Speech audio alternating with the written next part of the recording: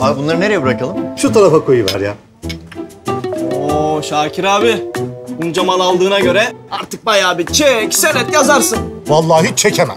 Para esnaf kartım sağ olsun. Kurulduğu günden beri esnafın yanında olan Halkbank'tan esnafın işini kolaylaştıran kart. Paraf Esnaf. Siz de Paraf esnafınızı alın, nakit akışınızı düzenleyin, çek senet işlemleriyle uğraşmayın.